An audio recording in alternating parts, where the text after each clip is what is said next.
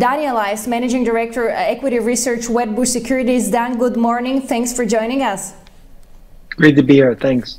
Uh, so, uh, Dan, I'd like to focus very quickly on the tech sector, specifically after seeing what happened yesterday throughout the Fed's uh, press conference. What's next for uh, for the tech stocks, first of all, and secondly, what do you think is going to be the impact on tech stocks, considering more hawkish Fed?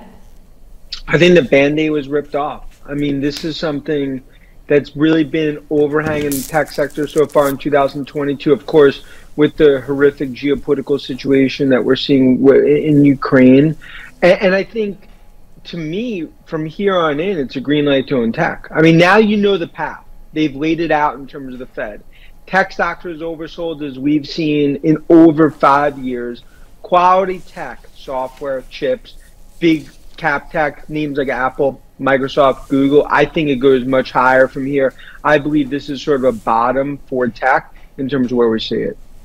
Um, so, do you think that um, what we're seeing right now, and of course, the recent bear market of the Nasdaq, is the worst that we were, uh, how can I say, able to witness for, for tech sectors, for tech stocks?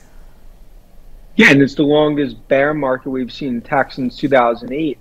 But but that is a stark contrast to the growth that we're seeing on enterprise. I mean, look at cloud, cybersecurity, 5G chips.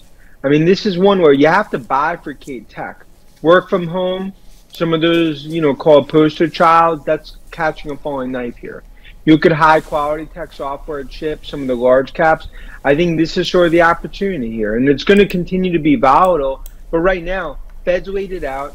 You have the worst supply chain crisis that we've ever seen. You're coming out of a once in a hundred year pandemic, and you're watching the heartbreaking situation out of Ukraine. So it just goes back to what's the bad news that's baked into names. I believe right here, way oversold relative to how we see the next six month, nine months playing out outside of some massive black swan event.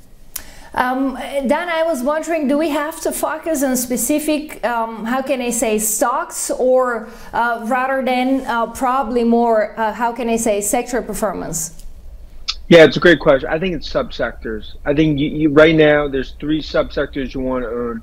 It's cybersecurity, where it's that's four to five x overall IT spend in terms of what we're seeing, and also with the cyber war underway from Russia that's names like Zscaler, Palo Alto, Tenable, and others. So you want to own cybersecurity, you want to own cloud, especially names like Microsoft, Oracle, Salesforce. And then I believe you want to own some of the large cap tech. That's names like Apple, it's names like Google, and ultimately names like NVIDIA and AMD. And I think that's sort of the three pronged way to play this. Um, I do see Apple, by the way, which is off about half a percent throughout today's trading session. By the way, 20 minutes into the trading session, and on a monthly basis, it's off about 6.3 percent. Uh, we're talking about Apple. So, what's your take on the stock, and and and of course, uh, specifically, uh, what do you foresee for the company after uh, the presentation of these uh, cheaper iPhones and new tablets? Yeah, in terms of that iPhone SE, that could be an incremental 30 million units coming out of the gate, which is a positive. And then right now, it's you look at the supply chain. I think the worries coming out of China this week seems like that was overdone relative to the impact on iPhone demand. Because right now, iPhone demand outstripping supply by about 20%. You kind of combine that with services, where we see this all heading into the rest of the year. I believe this again will be a $200 stock in terms of what we see Apple and supply chain actually improving rather than getting worse overall. That's important. Yeah, in fact, my uh, follow-up question uh, was about about actually um, China and the situation over there because we know that Shenzhen, which is a, a very important tech area, um, is shut down. Is currently in lockdown. So I was wondering what kind of um, impact do you expect on supply chain, and, and do you think that they're going to struggle with production capacity? Yeah, and with the zero COVID policy in China, that was a worry. But then yesterday, you know, we saw from our checks, and then it was reported that they're actually opening up part of that assembly. So I think it shows that that hard stance in China maybe is not as hard as investors feared. And, and then you start to look overall in the supply chain. There are going to continue to be some of these issues across China.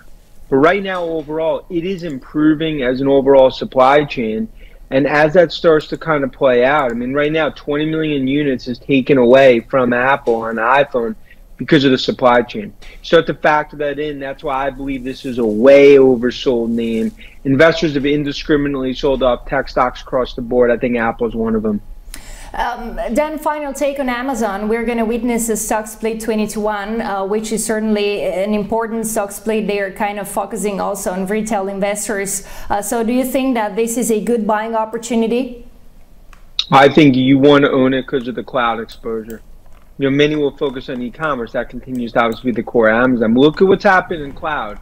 Trillion dollars going to be spent in terms of this fourth industrial revolution on cloud. Amazon, sum of the parts, AWS, a big piece in terms on cloud. Same things happen with Google and GCP. And of course, the best pure play way to play cloud is that company in Redmond, Microsoft. Thank you very much, Daniel Ives, Managing Director, Equity Research, Wedbush Securities. Thank you for joining us. Have a great day ahead. You too.